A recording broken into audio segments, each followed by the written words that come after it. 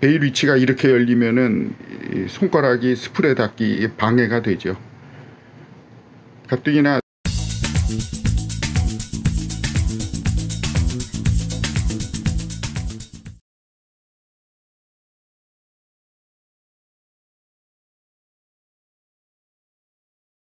안녕하세요. 조 박사의 피싱 랩입니다. 오늘 이 시간에는 과거의 유럽 릴에서 계승된 것, 또 개성됐으면 좋았을 텐데 계승되지 못한 것, 계승하지 않은 것, 뭐 이런 것들을 좀 알아보는 시간을 가져보겠습니다. 오늘 말씀드리는 이런 유럽릴들의 기능은요, 어, 유럽릴이 기본에 충실했다. 정말 실전적인 릴이었다. 그런 실전에 미치는 사항들을 다 이렇게 간직하고 있는 집어넣은 그런 설계를 했다 라는 증거가 될 것 같습니다. 이 말은 다시 말하면 이 유럽제 릴은 설계한 사람이 그 릴을 직접 사용하는 베테랑 낚시꾼이었다는 그런 말이 될 것 같아요. 디자인 우선 팔리는 릴이 아니라 실제 낚시에 사용하는 낚시 도구로서의 릴 그런 거를 유념해 둔 설계였다라는 말씀 드리면서요. 제일 먼저 말씀드려야 될 게 이제 캐스팅 하실 때그 패더링이라는 말 들어보셨습니까? 패더링이란 말은 베일을 열고 캐스팅을 하게 되면 낚싯줄이 쫙 이렇게 방출이 되죠. 그걸 낚싯대를 쥐고 있는 이 손에 검지 손가락으로 낚싯줄 방출을 제어하는 것을 feathering이라고 그럽니다. bait casting 릴의 경우에 thumbing이라고 하잖아요. 엄지손가락을 이용을 해서 살짝살짝 브레이크를 걸어주는 거.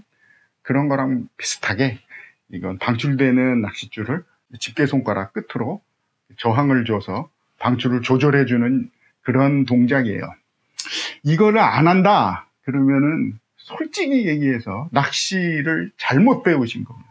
누가 처음 낚시를 배울 때 이거를 만약에 스승이 가르쳐 주지 않았다면은 그건 잘못 가르쳐 준 거예요. 그러다 보니까 집 가운데 손가락과 이 네 번째 약지, 중지와 약지 사이에 릴풋을 끼워야 되는 그 자세도 중요해요. 그 자세가 안 돼 있으면 어, 집게 손가락을 뻗어서 회더링을 할 수가 없으니까 이런 기본 자세를 제대로 배우셨는가가 중요하고요.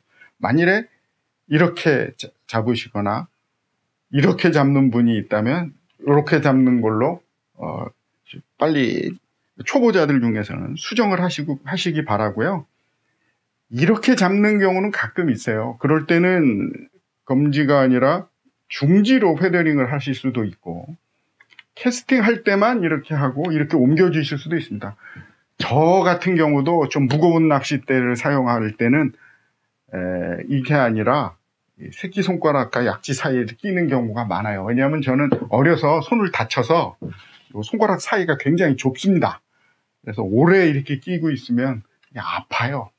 그렇기 때문에 그런 거기 때문에 음, 기본은 일단 확실히 하시고 그 이후에 응용 동작으로 가시기를 뭐 말씀드리고 싶어요. 자 이제 다시 본제로 돌아와서 요 릴풋의 길이와 요 스풀까지의 거리를 인간공학적으로 계산을 해서 설계를 해 놓은 거예요. 손가락이 이렇게 spool edge에 잘 닿게 한 중간이나 3분의 1 지점쯤으로 여러분 한번 사용하시는 릴을 이렇게 해서 한번 잡아 보십시오. 낚싯대에 세팅을 해서 만일에 이 손가락이 안 닿는다. 그렇다면은 그 릴은 아, 소형 스피닝 릴에서 하는 얘기예요. 어, 민물로 낚시, 쏘가리, 배스 낚시용 정도를 말씀드리는 겁니다. 거기에 손가락이 안 닿는다. 그러면 그건 설계가 잘못된 일입니다. 그런 일이 실은 90년대, 2000년대 초반까지 비일비재하게 많았어요. 이제 최근에 고급 제품은 그런 잘못 설계된 일은 이제 거의 없다고 생각을 합니다. 시마노 다이와 제품에서는. 하지만 중저가 릴에서는 아직도 그런 게 있을 수 있으니까 네, 구매하실 때 그런 것도 신경을 쓰시고 구매하시기 바랍니다. 그리고 그 다음 말씀드리고 싶은 게 베일을 열었을 때 회전이 빡빡해지는 기능이에요. 로터 브레이크가 걸린다 그러는 거죠. 캐스팅을 할 때 이게 휙 돌아가는 수가 있잖아요. 이게 빡빡하지가 않으면 돌아가면 어, 이 베일이 위치가 엉뚱해져 가지고 손가락에 패더링을 방해할 수가 있으니까요. 그걸 방지하기 위해서 bail을 열면 빡빡해지는 기능입니다. 이 기능은 이 아부 카디날의 경우에 1960년대부터 이미 적용이 돼 있었어요. 일제 릴은 1998년에 처음으로 시마노의 98년식 스텔라하고 거기에 적용이 됐고요. free cushion bail이라는 이름으로 음, 그 당시에 지금은 없어진 브랜드인데 마미야 OP 그러니까 마미야는 카메라 회사고 오피는 올림픽 훨씬 더 오래전부터 있던 올림픽이라는 조구 회사랑 그 카메라 회사인 마미야가 합쳐서 마미야 OP가 됐을 때 1998년에 리베로라는 중저가 모델의 스피닝 릴이 나와요. 잘 안 팔렸고 잘 알지도 않은 분도 거의 없는 릴일 텐데 여기에 이 rotor 브레이크가 처음 붙어서 나옵니다. 그러면서 루어 낚시 전용 릴이라고 그러면서 일본에서 팔았어요. 뭐 물론 잘 팔리지도 않았고 한 해 팔고 일단 마미야 오피가 조구 사업을 접어버렸으니까 그 이렇게 그때 시마노에는 적응 그때부터 된 거예요. 그러니까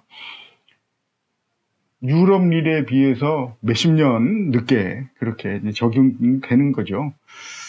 그것도 혹시나 특허 문제 때문에 적응을 못했, 적용을 못했나? 그것도 모르겠고, 아, 그것도 아니라면, 일본의 릴 설계하는 사람들은 기본이 안 돼 있었다, 당시까지. 이렇게 생각할 수가 있겠습니다.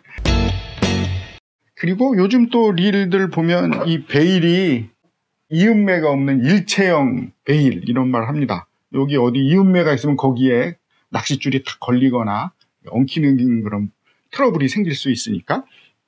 근데 그건 그 일본서 처음 한 거 아닙니다.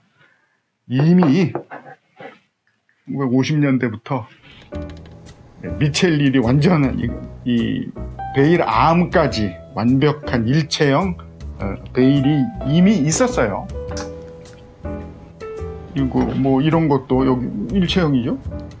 부드럽게 이렇게 다 돼 있었고 만드는데 당시에는 좀 이렇게 일체로 성형을 하려고 그러면 제조 단가가 많이 들어갔었기 때문에 결국은 초창기에는 이렇게 되다 유럽 제일들은 단가 문제 때문에 오히려 이렇게 접합식 이음매가 있는 베일로 바뀌어 버려요. 자, 이렇게 캐스팅 관련해서 가장 중요한 부분은 이런 겁니다. 패더링, 손가락이 얼마나 여기 잘 닿느냐, 이런 문제들. 그때, 어, 요, 베일의 이 개방각도 문제예요. 빡빡해지니까, 아브릴은, 아브 카디날은 빡빡해지니까 손가락이, 예, 별 문제가 없죠. 돌아가질 않으니까. 근데 만일에 이런, 이런 상태라면은, 어, 내가 패더링을 못 하잖아요. 그런데 요 릴은 이탈리아의 알체도 릴입니다. 베일의 개방각이 180도예요. 로터 브레이크가 없는 릴입니다만 어느 방향에 있든지 베일이 하물며 이렇게 위쪽으로 열려 있더라도 아무런 손가락에 방해가 안 되죠. 패더링에 아무런 문제가 없는 거죠. 이렇게 여기 있어도 이렇게 열려 있어도 그렇죠. 걸리적거리는 게 없어요. 이게 이탈리아의 알체도의 특징이었어요. 미첼 릴도 비슷했어요. 미첼 릴도 예전에 미첼 릴도 개방각이 거의 180도에 가까웠습니다. 최근 릴은 이건 시마노의 어, 바로 이전 모델입니다. 그 트윈 파워의 좀 이전 모델인데요. 트윈 파워도 의외로 많이 열려요. 한 이만큼 열립니다. 그래서 어, 패더링에 별 문제는 일으키지 않을 겁니다. 개방각을 관한 것도 유럽릴은 아예 처음부터 실전에서 아, 손가락에 걸리적 거릴 테니까 이탈리아 릴 같이 180도 올리게 열리게 했다. 스웨덴 릴은 연 다음에 이게 손가락에 방해되는 곳으로 돌아가지 않게 빡빡하게 만들었다. 뭐 이런 해결을 해결 방법을 서로 나름대로 갖고 있었어요. line pickup을 하고 열었을 때 혹시 이 bail이 손가락에 걸리적거리는 위치에 있을 때 캐스팅하기도 힘들고 feathering도 안 되고 그러려면 이렇게 아예 다시 이렇게 위치를 잡아줘야 되잖아요. 돌리면서 그렇죠. bail 위치가 이렇게 열리면은 손가락이 spool에 닿기 방해가 되죠. 가뜩이나 뒤로 돌아가는 그 기능이 없잖아요. 요즘 릴들은 거기다가 또 infinity이기 때문에 유격도 없고 그러다 보니까 이거 이렇게 자기가 손으로 돌려줘서 위치를 잡아주지 않으면 캐스팅하기가 조금 까다로워진다는 그런 단점도 있어서 아, infinity stop이 처음 나온 1980년대 때 이런 필요 없는 거 아니냐 이런 얘기도 있었어요.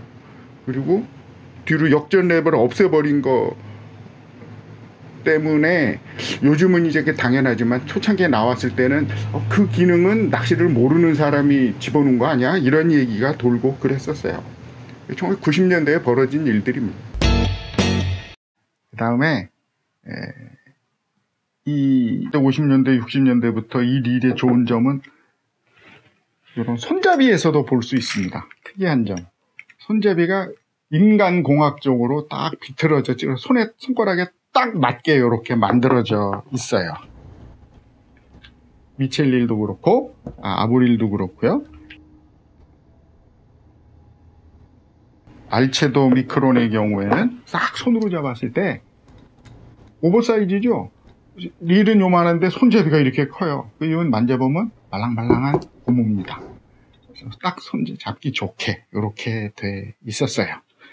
그런 세세한 부분까지 사람이 실제로 사용할 때 얼만큼 쾌적하게 낚시를 즐길 수 있느냐는 생각들을 했다고 저는 생각을 해요.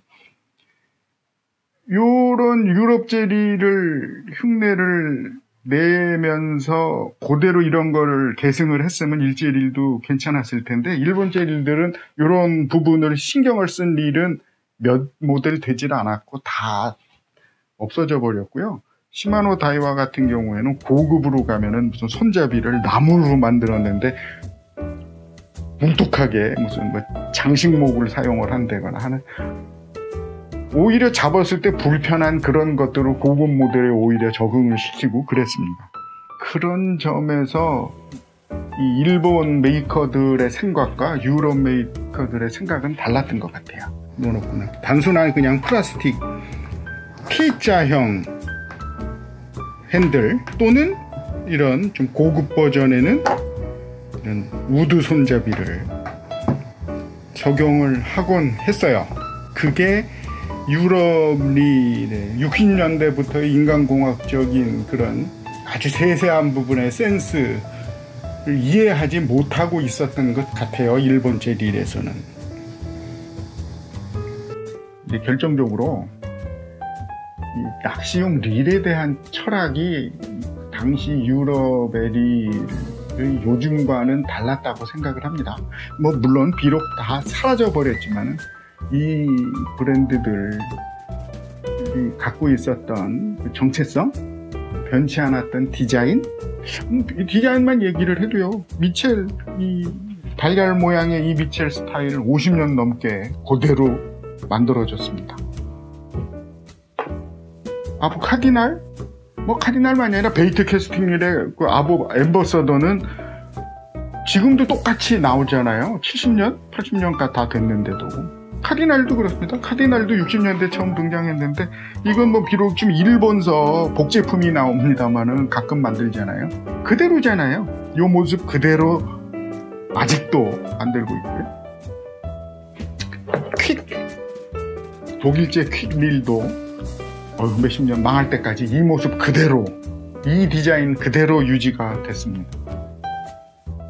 여러분이 지금 사용하고 계시는 시마노 다이와 일제릴 그거 아닌 거 사용하시는 분들 당연히 있으시겠습니다. 10년 넘게 유지된 그 릴 모델이 있는가 릴 디자인이 있는가? 10년 넘게 유지된 릴 디자인의 릴은 있는가? 한번 생각해 보시기 바랍니다.